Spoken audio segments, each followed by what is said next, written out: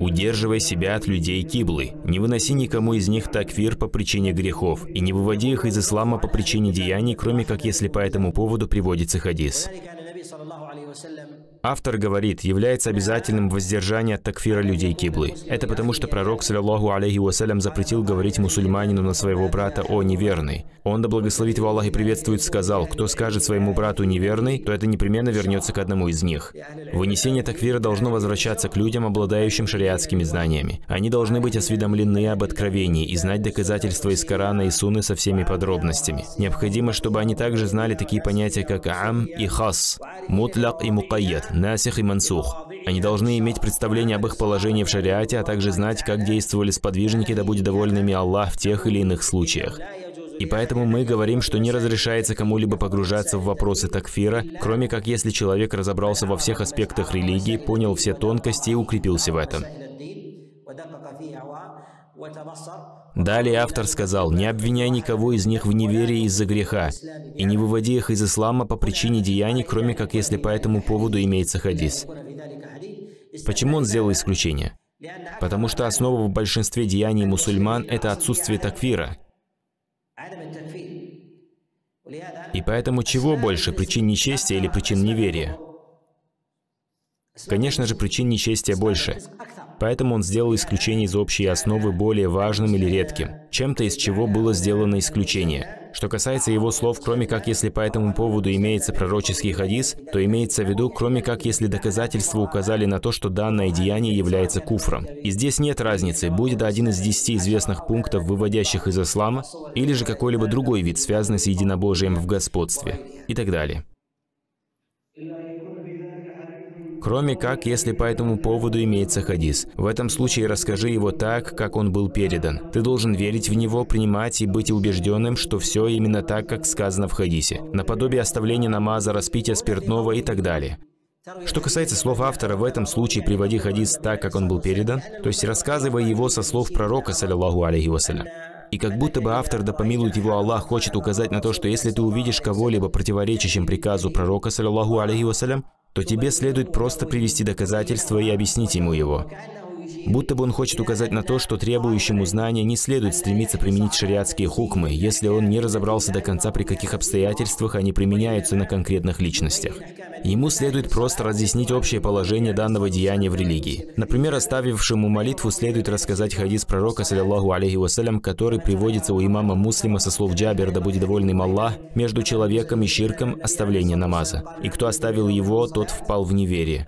Также хадис, который приводится в Муснаде и Сунане со слов Бурайды, что пророк, саллиллаху алейхи вассалям, сказал, «Завет, отличающий нас и их, молитва, и кто оставил ее, тот впал в неверие». Таким образом, ему следует рассказывать эти хадисы и разъяснять их.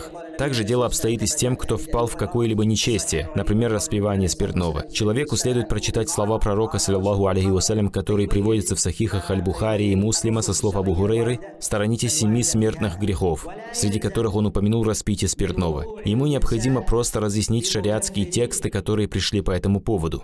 Не обязательно, чтобы человек, совершивший деяние, являющееся в своей основе куфром или нечестием, обязательно становился неверием или же нечестивцем. Это потому, что куфр имеет свои условия. Необходимо, чтобы они все собрались для того, чтобы вынести хукм. Также касаемо человека, совершившего куфр или нечестие. Порой существуют препятствия, которые могут помешать вынесению ему личностного такфира или же постановления о его нечестии. Из этих препятствий может быть незнание, джагль, или принуждение, икра, или же забывчивость, нисьян, которой порой бывает подвержен человек. Таким образом, необходимо знать положение человека. И поэтому мы говорим, что человек, погружающийся в подобные вопросы, должен иметь соответствующий уровень знаний. Как он может получить эти знания? Мы скажем, для того, чтобы погружаться в вопросы такфира и выносить хукмы конкретным личностям, человек должен быть осведомлен о двух вещах. Во-первых, он должен знать шариатские доводы со всеми подробностями. Во-вторых, он должен иметь представление о положении конкретных людей и вынесении им хукма. То есть человек может знать доводы, однако не иметь представления о положении людей, которые совершают эти деяния. Поэтому ему обязательно, помимо знания доводов, также быть осведомленным о положении людей, чтобы опускать хукм на конкретных личностей. Таким образом, если ты знаешь шариатские доводы, но не ведаешь о положении людей, то на тебе лежит ответственность лишь привести доказательства. но не выносить шариатские хукмы конкретным людям. Это до тех пор, пока ты не будешь осведомленным об их положении. Или же если человек делает нововведение, которое считается неверием и выходом из ислама, в этом случае следуй за доводами и не переходи их. Это есть основа для требующего знания. Он должен строго следовать доводам, даже в вопросах нововведений. Под нововведением имеется в виду новшество в религии Аллаха. Ученые разделяют ослушание, большие грехи и прегрешения, а также другие деяния, которые совершает человек и которые противоречат повелению Аллаха, но которые не являются куфром, и нововведения, потому что человек совершает их, считая, что это является частью религии. Что же касается больших грехов, то человек, совершающий их, знает, что это является ослушанием. Нововведения бывает двух видов – выводящие из религии и не выводящие. С другой стороны, нововведения можно разделить на абсолютные и дополнительные. Абсолютные нововведения – это те, которые были введены в религию без всякой основы. То есть они изначально не имели никакой основы в шариате. Сюда относятся ношение амулетов и талисманов, обтирание и табарук в различных местах, различными предметами и так далее. Все это относится к абсолютным нововведениям, которые не имеют под собой никакой основы. Это нововведение, имеющее основу в шариате, однако к этой основе было добавлено что-либо. Сюда можно отнести распевание азана, как это приводится от Абдуллаха ибн Умара, что он сказал, это нововведение. Слова азана и их порядок, как известно, узаконены в исламе. Но если человек добавит к этому распевание, то это будет считаться добавочным нововведением. Также, например, если человек постоянно читает определенную суру в определенном намазе, то это становится нововведением. Сама молитва узаконена, однако постоянное чтение определенной суры не является узаконенным. И поэтому мы говорим, совершение намаза в это время узаконено, однако этот человек добавил в нее неузаконенное деяние, и поэтому это является добавочным нововведением. Также следует отметить, что абсолютные нововведения более опасны, чем добавочные. Это потому, что абсолютные нововведения, они более очевидны, их противоречие религии Аллаха сильнее. Я не люблю молиться позади приверженцев нововведений, а также совершать по ним заупокойную молитву. У имамов, да помилует их Аллах, есть множество книг о разделах нововведений, как, например, «Аль-Бидату ва Нахью Анха», который написал Ибн Ваддах, также книга «Аль-Бида», которую написал Абу Шама, и другие книги, которые были написаны первыми поколениями. Также есть другие книги, которые посвящены теме нововведений, которые называют книгами Сунны. В пример можно привести китабу Сунна, который написал Абдуллах ибн Ахмад, Ас-Сунна, который написал Алля Лакай, а также Ас-Сунна ибн Аби Асима, также многие другие имамы, которые написали книги о разделах Сунны. Автор говорит, «Я не люблю молиться позади приверженцев нововведений и совершать по ним заупокойную молитву». Он сказал, «Я не люблю, но не стал запрещать это, так как не все нововведения выводят из ислама. Есть небольшие нововведения в тонких вопросах, а есть и великие. Есть малые новшества, которые не доходят до степени больших нововведений. Например, использование камешков для таспиха, как это приводится от Абдуллаха ибн Мас'уда, да будет довольным Аллах. Или же нововведения, которые бывают в намазах, относительно которых не пришло доводов. В пример этому можно привести чтение определенной суры в определенном намазе. Это является нововведением, однако оно не относится к большим новшествам. Существуют более крупные нововведения, как, например, подвешивание амулетов и так далее. И поэтому мы говорим, что нововведения различаются между собой. Если нововведение, которое совершает человек, не является выводящим из ислама, то ему не выносится такфир. Если же он совершает нововведение, выводящее из ислама, как, например, суджуд и жертвоприношение идолам, или взывание к кому-либо наряду с Аллахом, субханаху ва та'аля, то мы скажем, что данные нововведения являются выводящими из религии. И затем, кто совершает их, нельзя читать намаз. Однако в своей основе, когда говорится о нововведениях, то имеется в виду малые нововведения, которые не выводят человека из религии. Одноглазый непременно выйдет, в этом нет сомнения, и он самый лживый из лжецов. И мучения в могиле являются истиной. В ней раб будет спрошен о своем Господе, о пророке и о своей религии. Затем ему будет показано его место в раю или в аду. Существование Мункара и Накира – истина. Они два искусителя могил. Просим у Аллаха стойкости. И водоем Мухаммада, саллаллаху алейхи вассалям, является истиной. К нему придет его община, вокруг него стоят сосуды, из которых они будут пить. И сират, то есть мост, это истина. Он будет установлен над гиенной, люди будут проходить по нему, а рай находится за ним. Просим у Аллаха безопасности, и чтобы мы смогли пройти его. И весы – это истина, на них будут взвешены благие деяния и грехи. Это произойдет так, как пожелает Аллах. Когда автор разговаривал о нововведениях, он сделал примечание, что предпочитает не молиться за приверженцем нововведений, вне зависимости от того, является ли тот постоянным имамом или нет. Он сказал, что не любит молиться позади нововведенцев. Имамы из числа салифов, да помилует их Аллах, запрещали даже сидеть рядом с приверженцами нововведений, не говоря уже о чтении намаза за ними. Также следует отметить, что чтение намаза за нечестивцем легче, чем за нововведенцем. Это потому, что вред нечестия известен всем, а нововведение может скрыться от них. Человек может ввести в религию Аллаха Субхану Тааля какое-нибудь нововведение, а люди посчитают, что это из религии и начнут следовать за ним. И поэтому ученые не любят иметь какие-либо взаимоотношения с нововведенцами и сидеть с ними, а также слушать их и брать у них знания. Многие ученые и имамы запрещали передавать хадис от приверженцев нововведений. Причиной этому является то, что если человек будет сидеть рядом с нововведенцем, даже если он является ученым, то это будет подобно рекомендации. Сидение рядом с приверженцем нововведений будет считаться похвалой ему, и простые люди, увидев это, начнут собираться вокруг него. Несмотря на то, что они имеют благие намерения и желают истины, они могут принять что-либо из его порочных взглядов. Также следует отметить, что при передаче хадисов от нововведенца и принятии от него знаний существует разница между тем, является ли он живым или уже умер, является ли он известным человеком или нет. Порой бывает такое, что тот или иной нововведенец является ученым в какой-либо области знаний. Например, он может быть ученым во вспомогательных науках или в арабском языке и так далее. Если кто-либо спросит, можно ли у него учиться, мы скажем, сделает ли его известным твое требование знаний у него, возвысит ли его это среди людей. Если ответ будет отрицательным, то мы скажем, что можно. И поэтому имам Ахмад передавал хадисы от некоторых приверженцев нововведений. В своем муснаде он привел хадисы от 12 шейхов из числа мурджиитов. Однако они не были известными личностями, за которыми могли последовать люди, узнав, что кто-то берет от них хадисы. Они были просто передатчиками хадисов, а не имамами. Приверженца нововведений запрещено назначать на должность постоянного имама. Даже если намаз молящихся за ним будет действителен, тот факт, что он является постоянным имамом, будет причиной тому, что люди будут стремиться быть похожими на него и будут подвержены его влиянию. Далее автор говорит, «Одноглазый непременно выйдет, в этом нет сомнения. И он самый лживый из лжецов.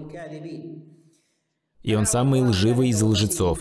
Под одноглазым имеется в виду Аль-Масиху Даджаль. Хадис от посланника Аллаха, саллиллаху алейхи вассалям, о том, что он выйдет, доходит до степени мутаватир. Относительно этого пришло множество доказательств. Часть этих хадисов от посланника Аллаха, саллиллаху алейхи вассалям, приводится в сахихах Аль-Бухари и Муслим, а другие в сунанах. Также были составлены отдельные труды о его выходе. Даджаля называют одноглазым, потому что у него только один здоровый глаз.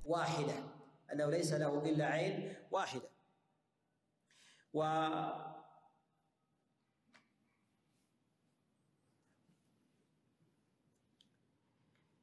хадисе, который приводится в Сахихе, сообщается, что пророк, саллиллаху алейхи вассалям, сказал, «Поистине у Даджаля только один здоровый глаз. Что же касается Аллаха, то он не одноглазый». Отрицание подобия между Даджалем и Аллахом Субханаху Ва Тааля в этом хадисе сделано потому, что Даджаль станет заявлять, что он Господь. Аллах сделает определенный признак для распознания его лживости, а именно то, что на его лбу между глаз будет написано «кафир», то есть буквы «каф», «фа» и «ра». Эта надпись будет служить для людей знаком, для того, чтобы они остерегались его зла. Из-за подверженности людей чувствам и их привязанности к сомнениям, с которыми он придет, у него будет множество последователей. От пророка, саллиллаху алейхи вассалям, приводится, что большая часть тех, кто последует за Даджалем, будут из числа женщин. Это по причине их привязанности к чувствам и эмоциям, и по причине того, что они не держатся крепко за доказательства и доводы. Зачастую они цепляются за чувства и тем, что следует за ними. В некоторых преданиях приводится, что мужчины не будут отходить от своих семей из-за страха, что они последуют за Даджалем. И поэтому пророк, саллиллаху алейхи вассалям, сказал, «Кто услышит о нем в той или иной местности, то пусть покинет ее и поедет в другое место». Имеется в виду, что человек может поддаться его искушению. Он может думать, что идет к нему просто посмотреть, а затем последует за ними его заблуждением. В этом содержится указание на то, что человек не должен стремиться к фитнам и не должен вмешиваться в них, ведь они могут захватить его. Это потому, что фитны имеют свойство захватывать сердца и разум. Человек может считать, что он желает спасения или знания или просвещения, а затем может подвергнуться искушению и сойти с прямого пути. Да упасет нас Аллах от этого. Затем автор, да помилует его Аллах, упомянул о мучениях в могиле, сказав, «И мучения в могиле являются истиной. В ней раб будет спрошен о своем Господе, о пророке, о своей религии. Затем ему будет показано его место в раю или в аду. Автор, да помилует его Аллах, упомянул мучение в могиле, но не упомянул наслаждение. Это потому, что при утверждении мучений в могиле утверждается также и наслаждение. И также наоборот, когда мы подтверждаем наслаждение, из этого исходит и подтверждение наказания в могиле. В Сахихе от Абдуллаха ибн Умара, да будет доволен ими Аллах, приводится, что пророк, саллиллаху алейхи вассалям, сказал, «Ему будет показано его место в раю и аду». Когда перед Османом, да будет доволен им Аллах, упоминали о могиле, он начинал плакать. Ему говорили, когда мы упоминаем тебе рай и ад, ты не плачешь, а когда упоминается могила, начинаешь плакать.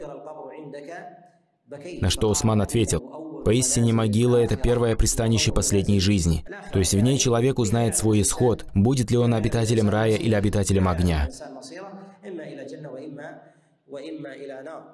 Что же касается слова автора «мучения в могиле являются истиной», то по этому поводу пришло множество достоверных доводов. Например, в Сахихах Аль-Бухари и Муслима приводится хадис от Аиши, да будет доволен ее Аллах, что пророк, саллиллаху алейхи вассалям, сказал, «Мучение в могиле – это истина». Также в обоих сахихах приводится хадис от Анаса ибн Малика, да будет довольным Аллах, и Абдуллаха ибн Умара. Далее автор сказал, в ней раб будет спрошен о своем Господе, о пророке и о своей религии. Затем ему будет показано его место в раю или в аду. Относительно этого существует хадис от Анаса ибн Малика, да будет довольным Аллах, где посланник Аллаха, саллиллаху алейхи вассалям, рассказывал об искушениях в могиле. Что касается допроса человека двумя ангелами, то это будет происходить наяву, по-настоящему, а не во сне или в воображении человека. В Муснаде и Сунане приводится хадис от Абдуллаха ибн Умара, что когда пророк, саллиллаху алейхи вассалям, упомянул о двух ангелах, искусителях могил, его спросили, будут ли возвращены в нас наши души? Он сказал «да». Он сказал «да, ваши души будут возвращены в ваши тела, и вы будете такими же, как сейчас».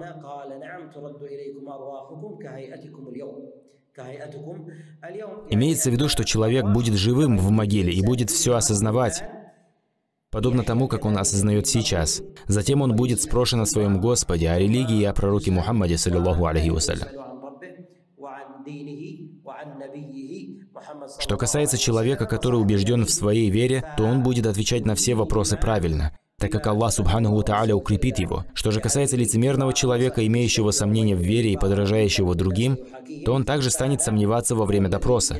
Стойкость будет сопутствовать только тому, кого укрепил Аллах Субханаху Тааля. Многие толкователи Корана сказали, что в словах Всевышнего Аллах поддерживает верующих твердым словом в мирской жизни и в последней жизни. Речь идет о загробной жизни. Известно, что жизнь бывает нескольких видов. Мирская жизнь в Дунья, загробная в Барзахе и последняя жизнь в Ахира, которая будет после загробной.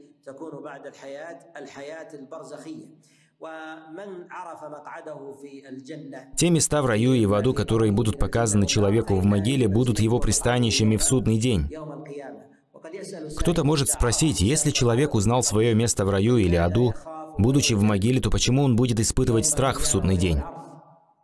Мы скажем, что он будет бояться, потому что в могиле он не будет спрошен за все свои грехи. Ему не будет открыто все, что он совершил в могиле. Свитки его деяний будут показаны ему именно в судный день, перед прохождением через мост Ассират.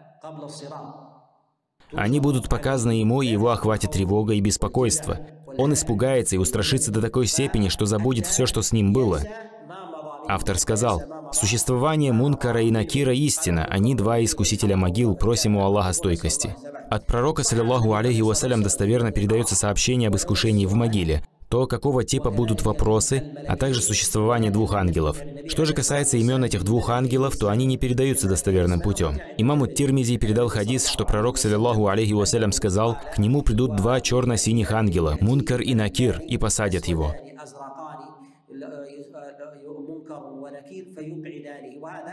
В этом хадисе есть слабость, но некоторые имамы все же считают его достоверным. Кады ибн Аби Я'ля в своей книге «Ат-Табакат» передал от имама Ахмада, да помилует его Аллах, что он сказал, «Поистине двух ангелов зовут Мункар и Накир». Мы скажем, что на эту тему приводится хадис, однако в нем есть слабость. В то же время достоверно известно существование двух ангелов. Известно о допросе в могиле и то, какого рода будут вопросы. Стойкость во время этого допроса проявит только тот, кого укрепил Аллах, субханаху тааля. И удивителен этот экзамен, в котором заранее известны вопросы и ответы, однако пройти его смогут только те, кого укрепил Аллах, субханаху тааля. Пусть Аллах дарует нам и вам стойкости во время спроса этих двух ангелов. Далее автор, да помилует его Аллах, сказал, «Водоем Мухаммада, алейхиссалату вассалям, является истиной. Вокруг него стоят сосуды, из которых они будут пить». Относительно водоема посланника Аллаха, алейхиссалату вассалям, приводится множество хадисов, которые достигают уровня аль-мутаватир. В них рассказывается о его обширности, о его сосудах и тех, кто будет подходить к нему. Тот, кто сделает один глоток из водоема пророка, алейхиссалату вассалям, больше никогда не будет испытывать жажду. В сахихах Аль-Бухари и Муслима передается хадис со слов Абдуллаха ибн Амра, что посланник Аллаха, алейхиссалату вассалям, сказал, «Ширина моего водоема равна месяцу пути». Это указывает на его огромный размер, а также на многочисленность тех, кто подойдет к нему. Также от пророка, саллиллаху алейхи вассалям, передается, что он сказал, «Больше никогда не испытает жажды тот, кто выпьет из него». Он упомянул жажду по той причине, что питье в раю будет только ради наслаждения, а не для утоления жажды или насыщения. Обитатели рая не будут испытывать жажду. Жажда исчезнет после того, как человек выпьет из водоема пророка, саллиллаху алейхи вассалям. Любой прием пищи и питье воды после водоема будет ради получения наслаждения. Они не будут есть, испытывая голод, и не будут пить из-за жажды.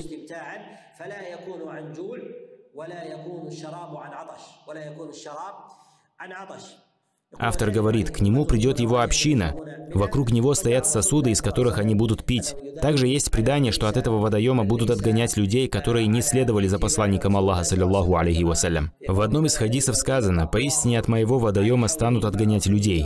Тогда я скажу, «Господи, это же мои последователи», на что мне ответят, «Ты не знаешь, что они сделали или внесли после тебя». Некоторые заблудшие течения, такие как рафидиты и другие, цепляются за этот хадис и говорят, что некоторых сподвижников станут отгонять от водоема. То есть они якобы в этом мире на самом деле не были его сподвижниками. Мы скажем, пророк, саллиллаху алейхи вассалям, сказал, «Ты не знаешь, что они сделали или ввели после тебя». Теперь вопрос. Те, которые отреклись от веры после смерти пророка, саллиллаху алейхи вассалям, были из числа сподвижников или нет? Они были сподвижниками ранее, но затем перестали ими быть, когда отреклись от веры, кроме тех, кто покаялся. Они и им подобные и подразумеваются в этом хадисе.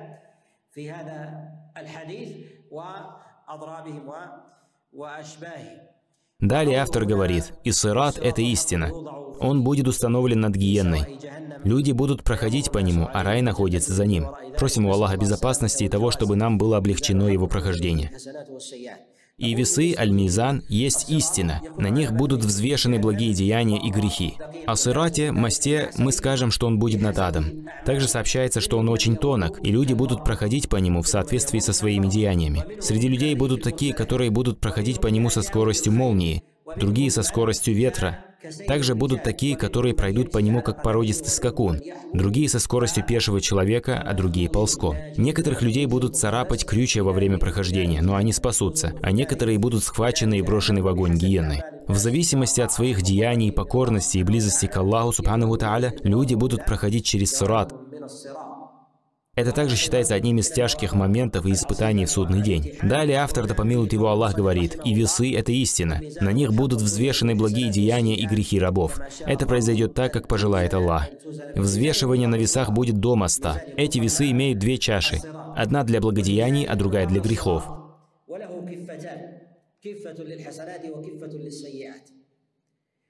Аллах Субхану Тааля выделит некоторых своих рабов возможностью войти в рай без расчета и наказания.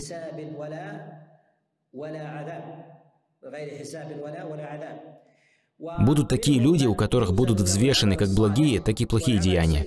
Будут и такие, у которых будут взвешены только грехи. Это неверные люди. Как сказано в Коране, кто же отречется от своей веры, тот тщетными станут его деяния. В другом аяте, если ты станешь приобщать сотоварищей Аллаху, то тщетными будут твои деяния. Аллах Субхану Тааля обратился с этими словами к пророку, саллиллаху алейхи вассалям. Что же говорить о тех, кто ниже него по статусу? В судный день у неверного не будет никаких благодеяний, и поэтому его деяния будут поставлены только в одну чашу, в которой взвешиваются грехи. Те, у кого будут взвешены благие и плохие деяния, это верующие, у которых были грехи.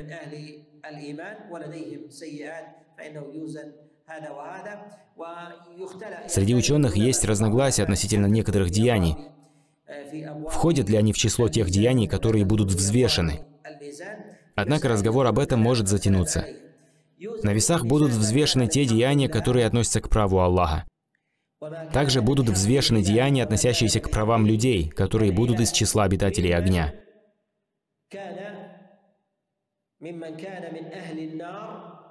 Это при условии, что эти люди были неверными. Что же касается прав мусульман, которым Аллах Субхану Тааля предопределил оказаться в огне, то есть предопределил им наказание, то взвешивание их деяний будет после моста. То есть взвешивание прав тех, кому было предопределено, что они не войдут в огонь и пройдут сырат из числа мусульман, будет до сырата. Взвешены будут как благие деяния, так и грехи. Что же касается мусульман, которым Аллах предписал вхождение в ад, то расчет их прав будет отложен и произойдет уже после моста.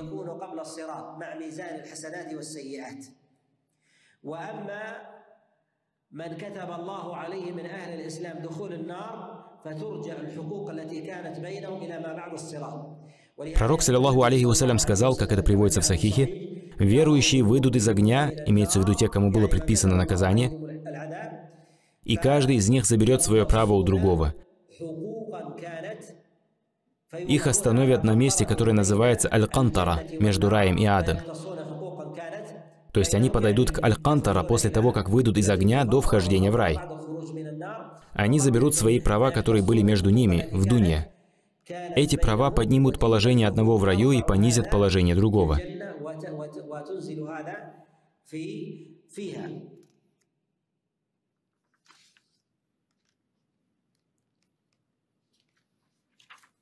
Остановимся на этом и закончим завтра, если пожелает Аллах. Да благословит Аллах и приветствует нашего пророка Мухаммада.